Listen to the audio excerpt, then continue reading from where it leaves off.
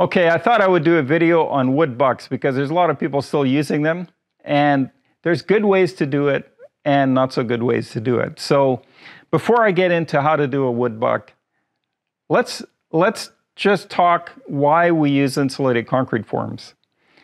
We don't use them because they're cheap. We use them to save money and energy and give ourselves a very comfortable structure to live in and a structure that's going to be high performance and last for generations. That's why we use insulated concrete forms. Now, for 30 years, we've been doing this. And now I'm watching people build with ICFs because, well, maybe they're a bit cheaper. That's not really the intent.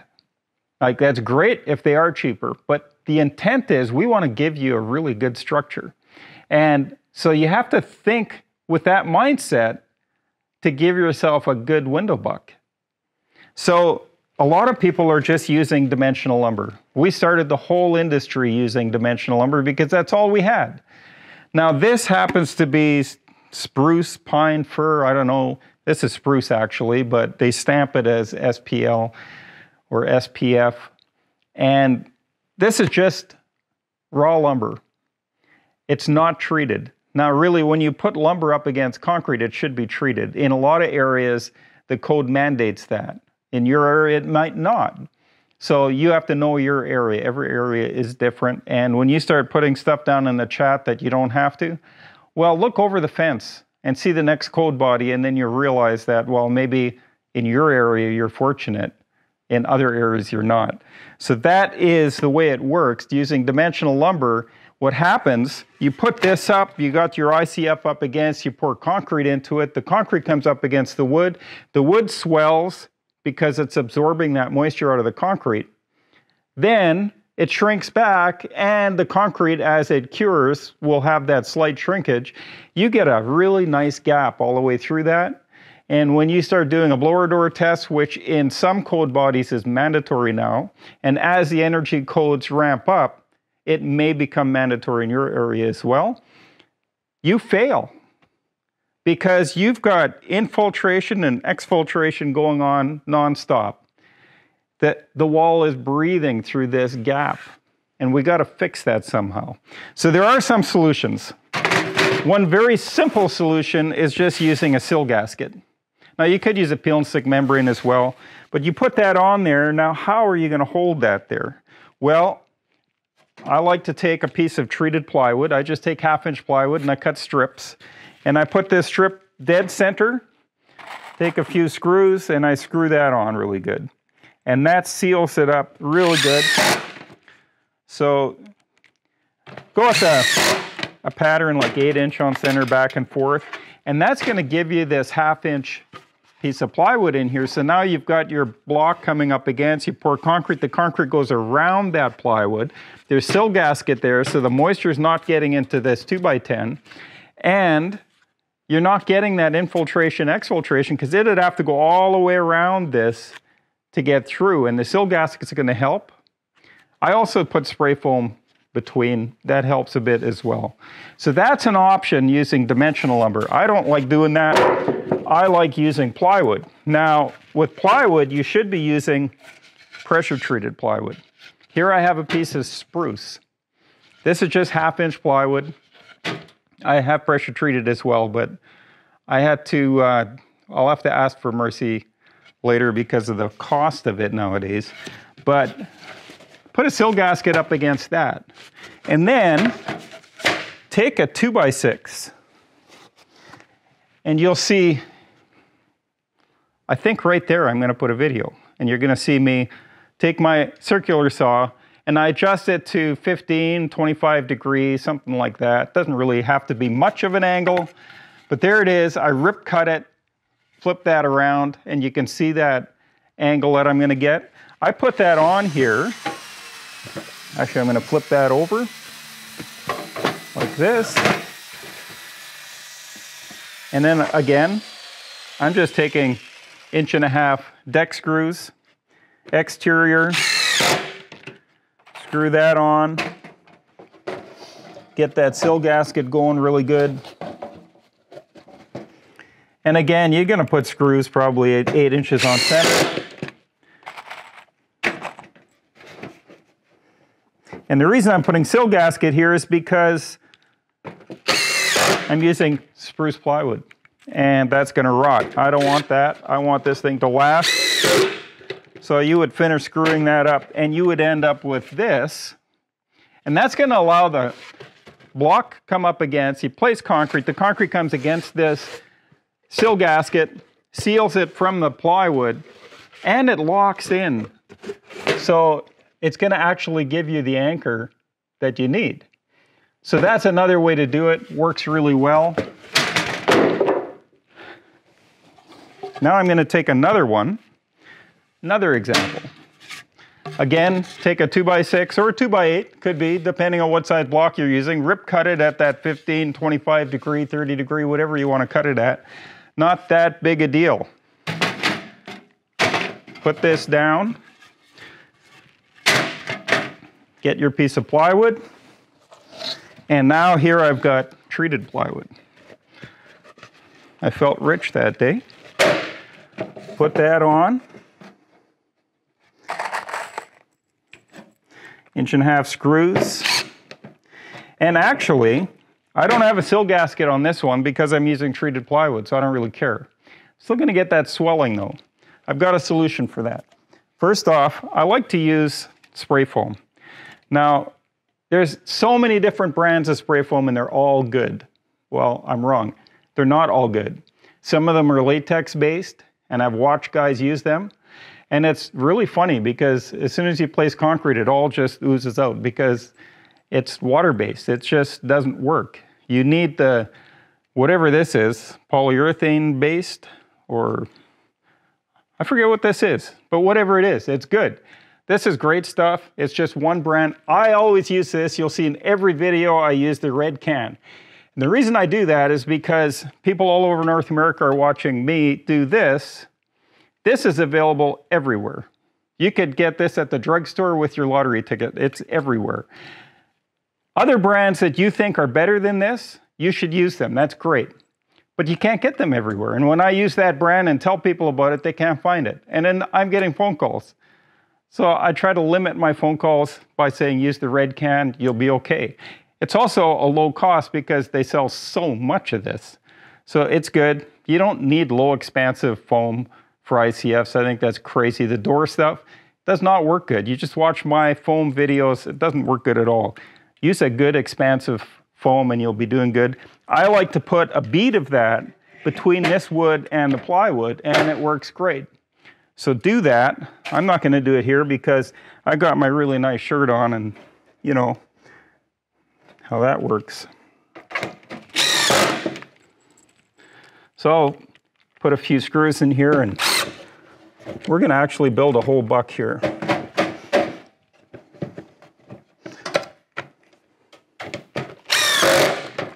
And I'll let you know that when you're doing a video, things are never as good. They never, I should be finished already, but when you're on video, everything slows down.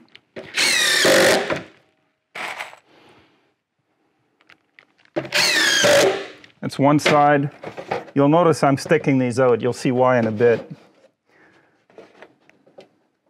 Hopefully this is good content. Takes time to build these, but it's worthwhile if you're doing it right because it'll last and it, will it'll be good with ICF. That's what you want.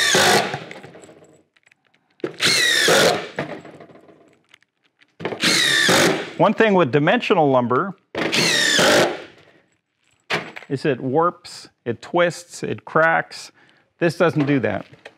So here I have another buck, half inch plywood. You can use thicker plywood, that's great. I'm using half inch plywood. And watch this.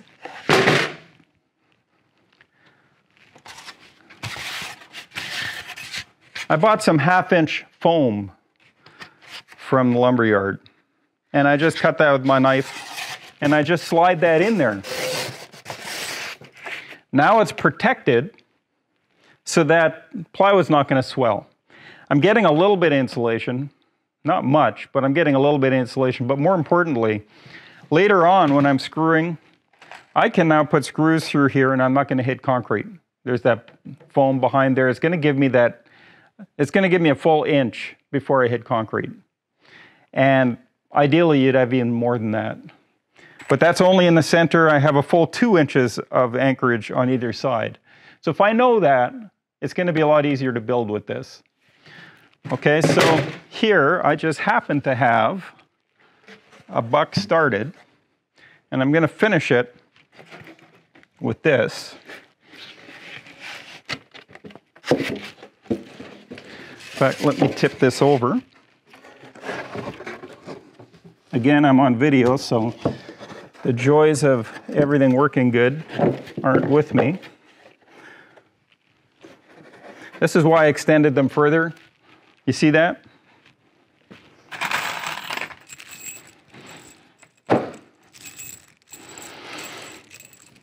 You don't have to use a yellow drill either. That just happens to be what I have.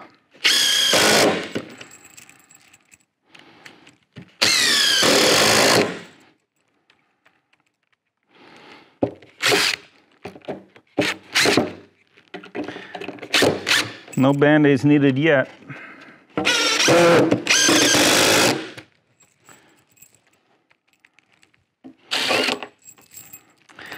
Boy, these screws are not cooperating.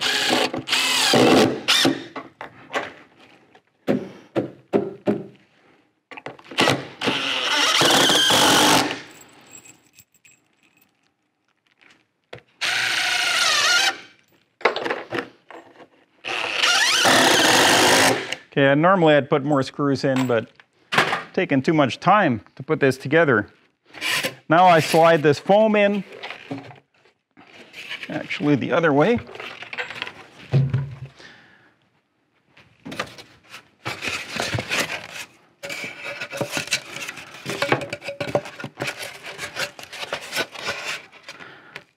Well, that's not going to work. Got to slide this one in before you put it together. Lesson learned. Wood bucks. I haven't done this for so long. I'm learning stuff. That's good. So now this will slide out in the wall, so I would put a screw into that just to hold it in place.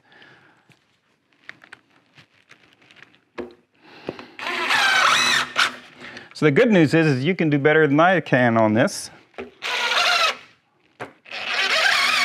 Now that I've shown you the example, and when you do a wood buck, you've got this plywood on the top, on the sides. This happens to be, I think, a 30 by 42 window.